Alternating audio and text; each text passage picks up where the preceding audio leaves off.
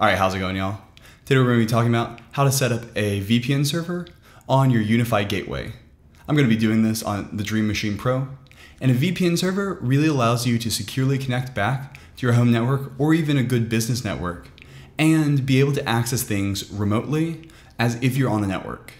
It's a great way to get all the features and services that are on your local network without worrying about opening up unsecured ports to the broad internet. So we're going to be setting up an L2 TP VPN server, which is a standard that almost all devices can connect to. iPhones, Macs, Windows computers, Windows phones, Android, you name it, it probably has a really simple built-in client for connecting back to these. And to set this up, all you really need are two different things. First off, you need an IP address or a host name that is not going to change for your home network. If you've got a static IP address like me, I would highly recommend setting up a DDNS server and the last UniFi video I did was on that. So go ahead and watch that. And it basically allows you to have an address on the internet that forwards all traffic to your home's IP address and will update quickly even if that home IP address changes, in which is the case when you've got a non-static IP address. And the second thing is your ISP has to give you access to ports 500 and 4500 UDP because that's what the VPN server is going over. All right, and so once you've got those two things, all you have to do is log into your router. And as you can see here, I'm using the new UniFi dashboard. And so it's actually really easy to use. We're just gonna go into settings. And the first thing you need to do is actually create a radius server, which is under gateway and radius. You're going to first have to enable radius server and create a shared secret. And so this shared secret is kind of the first line of defense for this network. Basically, you're going to have to be able to give this to every single person who's going to be a user on here. And that's going to be their first authentication. It's not as secure as something like a certificate, but it's good enough for most people. Now just create a new user for every single person you would like to be able to connect to it.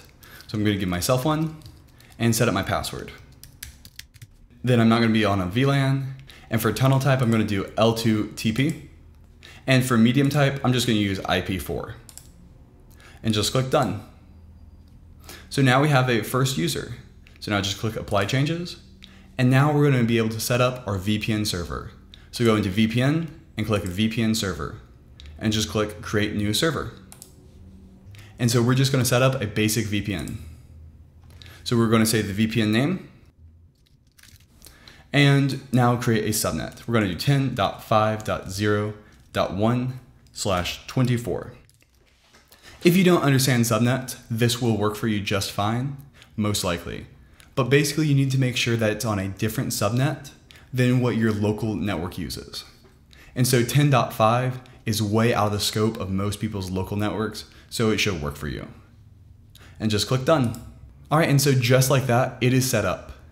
We can go through and see some of the more advanced settings right here. And we can see that the pre-shared key is gonna be the same as what's on the Radius server, we can see the subnet here. We can see the DHCP settings. So if you've got a home DNS server, you can set that up here. So I run a DNS server on 10.0.1.40. And so I'm going to set that up as the primary DNS server. And then the backup is Google's 8.8.8.8. So for radius settings, we're using the default profile. So we're just going to click apply. All right, and so now our VPN server should be completely set up.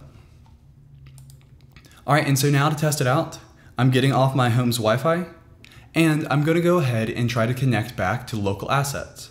So I'm on an iPhone, so I'm gonna click settings, just go down to VPN. And we're just gonna click add VPN configuration. Type, we're gonna do L2TP. Give it a description, and under server, I'm going to do that will.spacerex that I set up in the previous video. And so for account, I use will. And so for password, I'm going to type that in now. So the screen's going to be completely blurred. And secret, same thing. And we're going to disable send all traffic because we really just want local traffic on there. And we don't need a proxy or anything, and so we're just gonna click done. And so now, let's go ahead and connect to it. As you can see, I'm outside of my local network and I've successfully connected to it. And so now what we need to do is connect to some assets locally. So I'm just gonna go over to Synology Drive and do that. And so just like that, we can see that my Synology Drive loads and I can do anything. Everything's working just fine.